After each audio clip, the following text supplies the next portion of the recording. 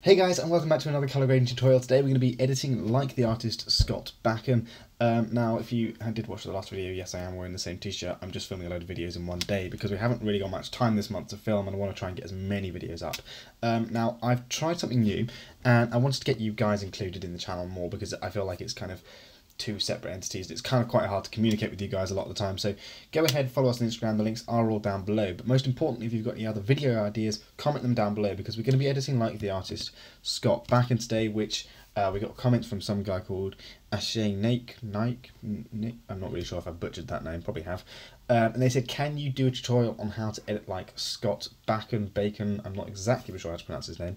Really not doing well on names today, am I? Um, so yeah, that's what we're going to be doing. Um, now, if you want to follow along with the tutorial, um, I'm just going to move this out of your way.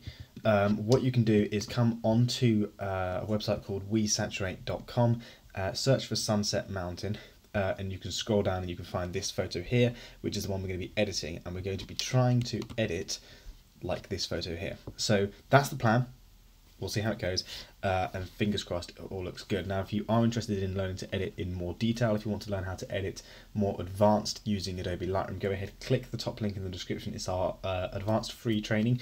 You can go ahead and learn a load of new skills within Lightroom um, and it's basically just uh, more of what we teach on YouTube just because there's not enough time to go through it on YouTube. Um, so yeah let's get started. Um, we're going to jump into Lightroom. And this is the photo we're going to be editing. Um, so I chose this photo because if you look at this photo here, there's not much detail in the sky.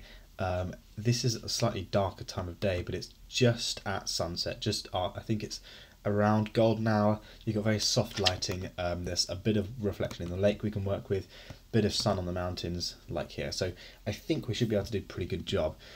So let's get started. Uh, if you do want to get our presets as well, click the link in the description. You can go ahead, grab our presets um, and you can follow along with like we've made loads of presets in the style of different artists. They are our personal presets.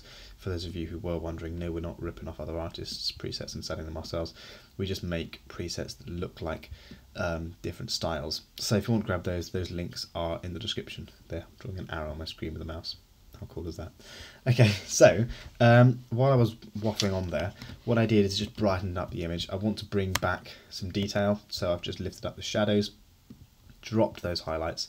Um, I don't want to drop it too much, but you see here we're now beginning to get a little bit of vignetting at the top. That's what we're aiming to get. Um, obviously the sun's very low in the sky. Um, here we've got these annoying clouds, which aren't really the best looking clouds, but we'll have to make do. Um, the next thing to do is warm up the image.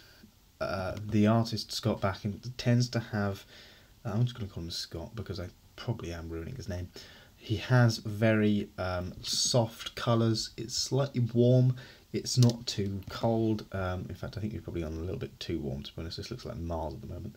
Um, but I don't want to go too cold. I want to make sure... It's not the highest quality photo, unfortunately, but we'll have to see what we can do.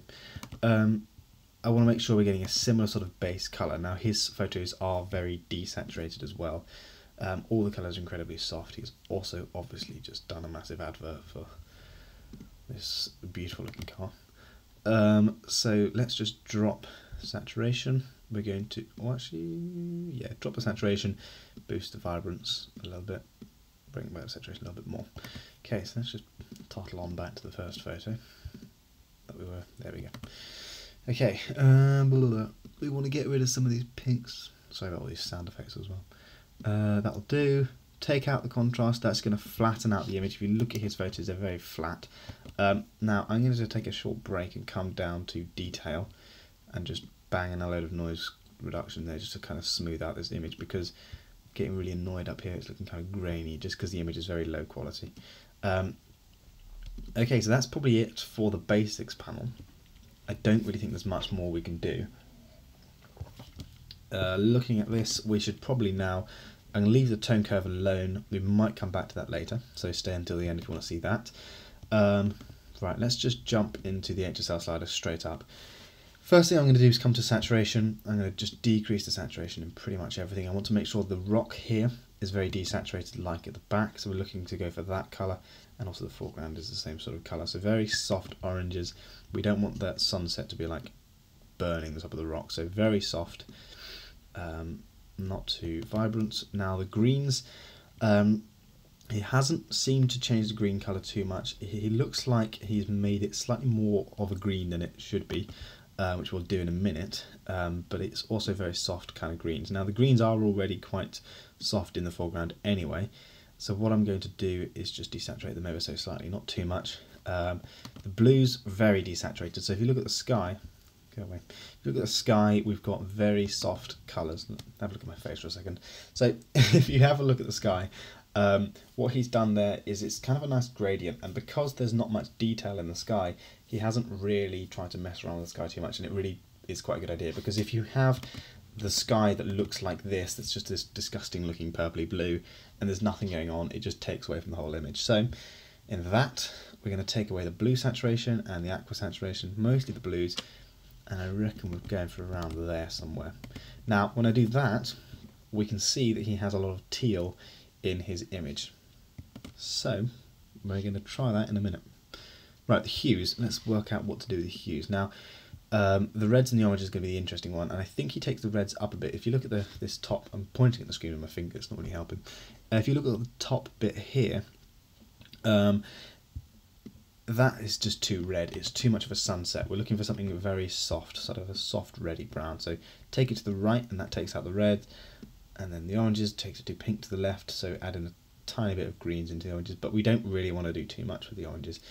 Um, I think just leave that as is. Now the yellows, I'm gonna, you see here if I drag the yellows to the right, it makes it very green, to the left very brown. Um, with the greens, it'll do the same, but there's just these little sort of mounds here. So greens we're going to take to the right a little bit, and we're trying to get this colour here. So at the moment it's looking too brown in my opinion. So, I mean, I'm also not very good at reds and greens. I reckon that is a good starting point. We'll see how that goes. That's probably a little bit too green actually, but you know, what can you do? Take it down a little bit. And now is going to be the fun part. So with the aquas and the blues, aquas isn't actually doing anything, so we'll leave that as is. The blues we're going to add in a little bit more teal because look at the sky here. We're now beginning to get that very similar colour at the top. And it's very useful just to have the image next to you that you're trying to edit and just flick forwards and backwards. Um, we'll have it at minus 25 because I'm going to do something later which might help with that quite a bit more. And I'm going to drop the saturations of the blues tiny bit more. And I reckon we're basically there. Next thing to do is come down to the luminance sliders and we're going to brighten up this sort of browny oranges just because it's just far too dark. Now, obviously the sun is kind of coming from behind this guy in this image, and in here it's kind of behind this rock face um, over here somewhere. So this is a lot darker, this image, so we've not got a very similar lighting, but we can brighten up the reds and the oranges just to bring this photo back to life a little bit more. And then the yellows, brighten those up. Greens, we'll brighten those up a bit. Blues, also going to brighten those up make the image just a lot brighter. And I don't want to add it see if I were to do like the opposite we're going to add loads of contrast into the image and we don't really want that. He doesn't have much contrast in his overall image. Um, okay going a bit rogue we're going to come onto this gradient filter. Drag the gradient filter up. That's just ruined the entire photo so let's clear that. Uh, we're going to just boost the shadows just there just to kind of really make sure the whole foreground is light enough um, maybe not that much. And then we're going to drop the contrast a little bit. I think what we've done there is just ruin the entire photo, but you know. Very subtle, that's what we're trying to do here.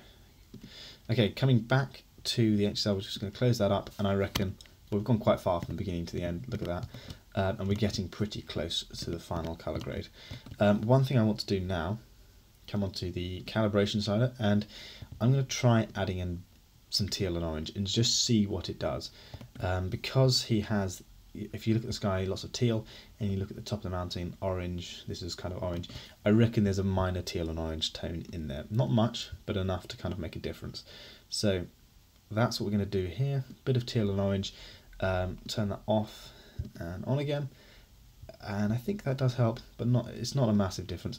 And then we can mess around with this green primary here, just to kind of sort out the greens in the foreground, because there is a lot of green in this image. But I think if I take it to the right, we really you know tone down the overall um, colour of this image, and I really think that's a massive difference. That's helped quite a bit. Maybe take it to the right a little bit more. Yeah, that's really helping. So the green primary is quite interesting to see what it's done on this image. Okay, so I reckon we're basically there. That's basically the colour grid done. I'm just looking at the sky and I think we ought to take the saturation down some more in the blues. That's probably too much. Somewhere like that. There we have it. So next thing you can try if you want to is come onto the tone curve, lift up those mid-tones a little bit, lift up the shadows, just to kind of make the whole image a little bit softer. Um, add a little bit into the highlights, and then we can just add a tinsy bit of contrast into the shadows, but I don't really want to do much. No, actually, let's not do the shadow. There we go. Right, okay, so that's just turn the tone curve off and on again. Very subtle change, but it might make a little bit of difference to the overall image. So I hope you guys did enjoy that colour grading tutorial. Um, I think we got pretty close to the overall colour grade. It's just annoying the entire foreground here is this sort of a green, whereas in his it's just brown, but I reckon we've got pretty close to the colour. So if you want to follow along, have a go, let me know what you think. Uh, if you are interested in our presets, go ahead and click the link down below, grab those, and also don't forget you can also grab your free training. Um, if you want any more ideas for videos, just click them, just comment, or if you have any ideas for videos, comment them all down below, um, and we'll get around to doing those as well. So we'll see you in the next video. Live long and prosper.